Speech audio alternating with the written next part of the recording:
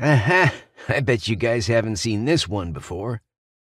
A chorus of groans filled the interior of the SH 60 Seahawk helicopter.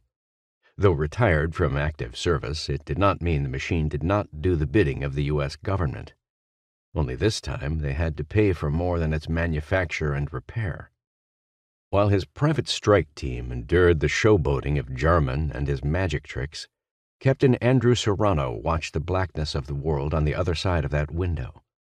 It was the usual way things progressed. Jarman entertained the team with his usual antics.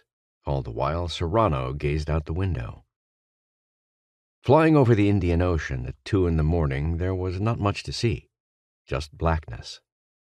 In a sense, that was better. The darkness consuming this side of the planet enabled the former Army captain to visualize his assignment. He knew the kind of men their target surrounded himself with. All bad guys, all of whom with murderous history, exactly the kind of company their objective attracted. Armed conflict was inevitable.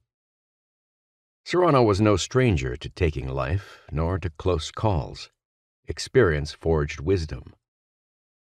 The men went back and forth, with Jarman showing off his latest grand illusions that he learned on YouTube in his spare time.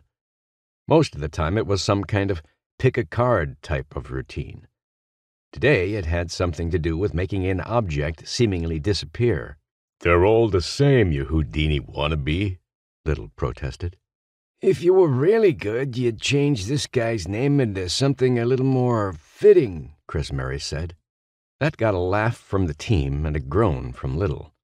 The biggest member of the group, his last name led to the repeat of the same joke, which never got old, not even for Serrano, though he would never admit it. Jarman, a Marine of eight years' experience, now a private contractor with six, all under Serrano's employment, scratched his thin red beard while he waited for an opportunity to resume showing off. He sat in a seat close to the door gunner Cam. Cam's real name was Mac, which everyone remarked was too cliche for this line of work, thanks to Hollywood. He fit the part, though, being the stern faced, silent type. Like Serrano, he was in business mode he was not here for laughs. He was here to kick ass and pump lead. Now pay attention. Do we have to? Weston, the demolitions expert, asked. As long as you're stuck in this bird with me, you may as well enjoy the entertainment, Jarman said. Beats looking at pictures of your kids all day. Weston folded up his little pocketbook. In it were kid photos of his two young boys, both of whom were now adults.